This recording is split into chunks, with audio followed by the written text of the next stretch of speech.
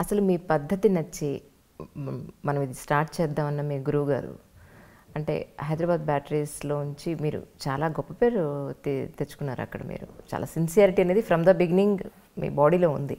అయితే ఎందుకు ఆయనకి మీకు అంత క్లాస్ రావడం జరిగి మీరు బయటికి రావాల్సినంత అవసరం ఎందుకు వచ్చిందంటారు? ఒక కారణం అంటూ ఉండదమ్మా. ఇద్దరి మధ్య సఖ్యత కానీ విముఖత కానీ రావడానికి అనేకమైన అంశాలు ఉంటాయి మనం ఆధ్యాత్మిక పరంగా చూస్తే గ్రహ సంపత్తి. మూమెంట్స్ ఉంటాయి కదా గ్రహచారం ఉంటుంది. అంటే అవి నమ్మమని చెప్పటం లేదు. చెప్తున్నా మీకు ఈజీగా అర్థం కావడానికి. శుక్రుడు ఎనుగో ఇంట్లోకి రాగానే శత్రుత్వ స్థానాలు ప్రబలతాయి అంటారు. అంటే నేను చెప్పింది అవును. సాటర్ను పదో ఇంటి నుంచి పన్నెండో ఇంటి పదకొండో ఇంటికి వెళ్ళగానే ఇంకో రకమైనటువంటి మనస్ప్రవృత్తి వస్తుంది. నాలో ఇరిటేషన్స్ పెరుగుతాయి. ఎదుటి మనిషి చెప్పే మాటల్ని నేను సౌమ్యంగా తీసుకోను. అది నాకు నాలో ప్రకోపం కలిగిస్తుంది. అట్లా ఇద్దరి మధ్య సఖ్యత కూడా దానికి ఒక ఆయుష్ ప్రమాణం ఉంటుంది. పదేళ్ళు వీళ్ళు కలిసి బతుకుతారు తర్వాత ఉండరు అని నిర్ణయం అయిపోయి ఉంటుంది. ఆయన అయితే అవన్నీ అలౌకికమైనటువంటి ఎక్స్ప్లెనేషన్స్ లౌకికమైన ఎక్స్ప్లెనేషన్ చెప్తాను మీకు. ఎప్పుడు కూడా ఏ పార్ట్నర్షిప్ నేను ఒక సూత్రం ఇది. మన ప్రేక్షకులు వీక్షకులు నాకు తెలియదు వాళ్ళు చూస్తే వాళ్ళు వాళ్ళ వాళ్ళకి వచ్చే నా నుంచి వచ్చే మెసేజ్ ఏంటంటే partnerships they won't last forever they have time పరిమితి ఉంది. మీతో నాకు అవసరం ఉన్నప్పుడు మీతో ఒక రకంగా ఉంటాను. మీతో అవసరం లేనప్పుడు ఇంకో రకంగా ఉంటాను. అది భరించి సహించే శక్తి మీలో ఉంటే మనం కొనసాగుతాం పార్ట్నర్స్గా. లేకపోతే అవసరం తీరిపోయాక ఎందుకు? కానీ వరప్రసాద్ రెడ్డి గారు అలా ఉండరు కదా. నేను కాదు కదా. ఇద్దరి మధ్య సఖ్యతది ఆయనకి ఆనాడు నేను ప్రాక్టికల్ కాదు. నాకు థియరీ ఉంది. వీడు చాలా ప్రాక్టికల్ ఫెలో. వీడిని కలుపుకుంటే మంచిది అనుకున్నాడు. వీడు తీసుకొచ్చి ఫ్రెష్గా కొంత ఈక్విటీ కూడా పెడతాడు అది కూడా అవసరం అనుకున్నాడు. నాకు చాలా కాంటాక్ట్స్ ఉన్నాయి.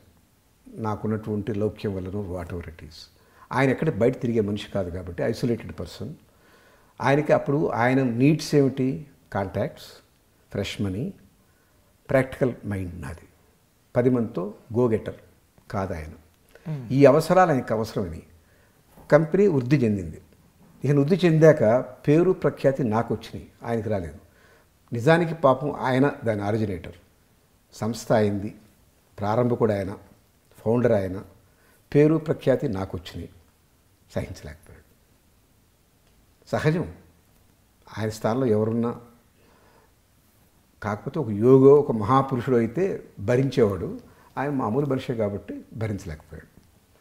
ఆయన పక్కకు పెట్టేశాడు ఈ అవసరం లేదు ఇక నా కంపెనీ బాగానే ఉంది. ఈ కంపెనీ నడపడానికి ఈయన కొత్త కాంట్రాక్ట్స్ ఏం అక్కర్లేదు. ఆల్రెడీ పేరు వచ్చింది హైదరాబాద్ బ్యాటరీస్కి. బోర్డైన అవార్డులు వచ్చినాయి. టర్న్ ఓవర్ ఉంది ఆదాయాలు ఉన్నాయి. ఒక పెద్ద టీం తయారైంది సిక్స్ సెవెంటీ పీపుల్. నేను జాయిన్ అయినప్పుడు ఆడ వంద డెబ్బై ఎనభై మంది ఉన్నారు.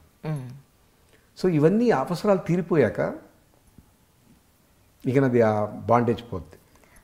హైదరాబాద్ బ్యాటరీలో నుంచి మీరు బయటకు వచ్చిన తర్వాత ఒక విధంగా వేరే వాళ్ళు అయితే కనుక దానికి రిలేటెడ్గాను లేదంటే సేమ్ బిజినెస్ స్టార్ట్ చేసి దానికి ఒక కాంపిటేటర్గా అవ్వాలనో లేదంటే ఒక రెవెన్యూ తీర్చుకోవాలనుకుంటారు? అసలు మీరు దానికి సంబంధం లేని ఒక ఫీల్డ్లోకి రావడం అనేది ఎందుకు జరిగింది? నేను ఇండస్ట్రీ పెట్టుకోవాలనుకోలేదు కదా. అందువల్ల అదే ఇండస్ట్రీ పెట్టి ఆయన కాంపిటేటర్ కావాలన్న ఉద్దేశం ఎట్ల నుంచి వస్తుంది? నాకు ఇండస్ట్రీ ఇంట్రెస్ట్ ఉంది. పదేళ్ళ నాకు ఇండస్ట్రీ ఇంట్రెస్ట్ లేదు.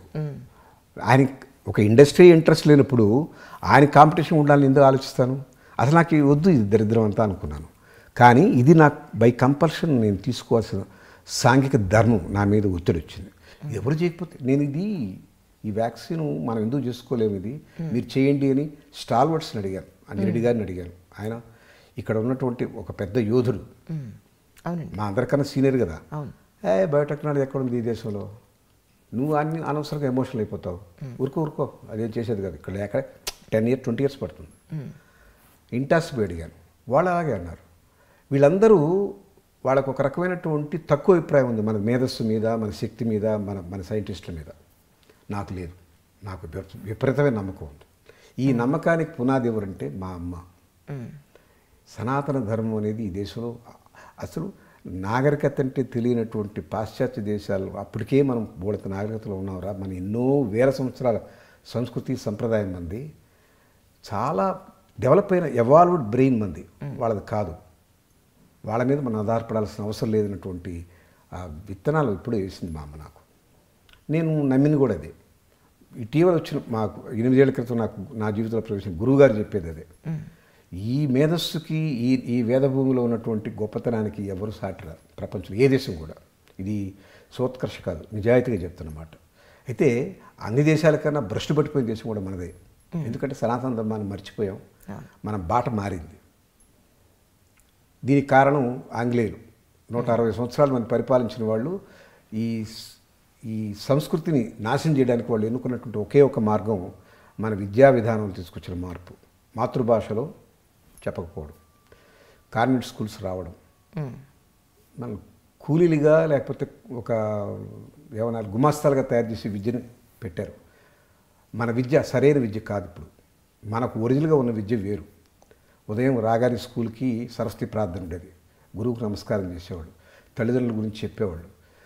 ప్రతి స్కూల్లో గోడల మీద సత్యం వద ధర్మం చేరా రాశారు. ఇప్పుడు ఉన్నాయవన్నీ Jack and Jill went the hill to fetch a trail of water అని చెప్పని హింసాత్మకమైనటువంటి దాని ఇది చంపింది దాని ఇది పొడిచింది? ఈ పద్యాలు చెప్తున్నారు ఒకరిన ఒక్కరిన వేమన శతకం కానీ సుమ శతకం చెప్తున్నారా? నీతి వాక్యం చెప్తున్నారా? అసలు మారల్ క్లాస్ ఉన్నాయా?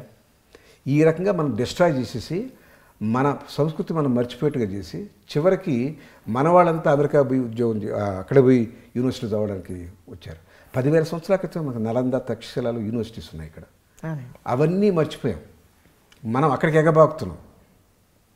మళ్ళీ మన సనాతన ధర్మాన్ని నమ్ముకొని మనం మన పూర్వవైభవాన్ని తెచ్చుకోగలిగితే వాళ్ళు క్యూలో నిలబడి మన వీసా కోసం తంటాలు పడి ఏడ్చి రొచ్చుకొని ఇక్కడికి వచ్చి చదువుకోవాల్సిన రోజులు రావాలి నా కోరిక. అప్పుడు దాన్ని నేను బతుకుంటానో లేదు తెలియదు ఉంటారు. డెఫినెట్గా ఉంటారు.